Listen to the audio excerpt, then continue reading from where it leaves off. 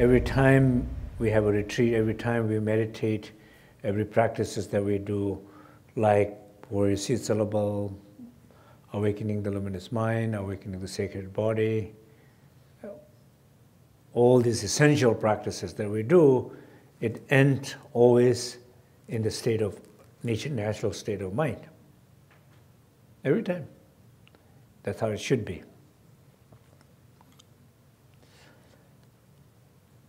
And, um, and then do we do that to become more familiar, in, to able to integrate that more in natural clear light, it's our everyday life. We talked yesterday how, how to do that. And then that natural clear light to find in, in a sleep, then that uh, sleep clear light, finding in the clear light of the death. So then in the end, it's saying the clear light in the bardo is the most essential.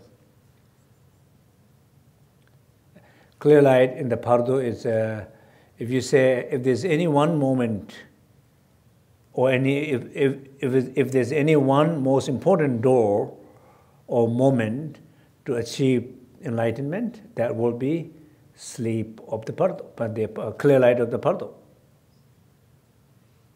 That moment, right?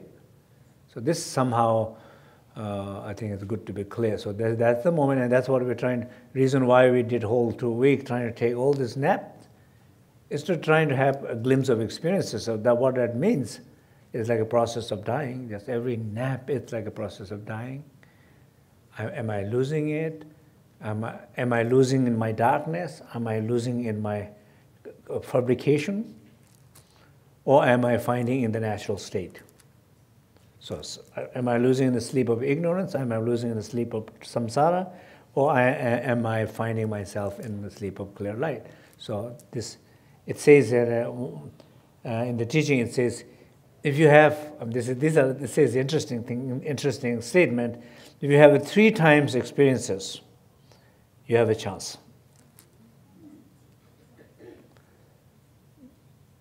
I mean, three clear time experiences that in the sleep you discover the clear light, sleep, uh, clear light of sleep, then there's a good chance that reconnecting the mother and the child or finding that clear light experiences of the death.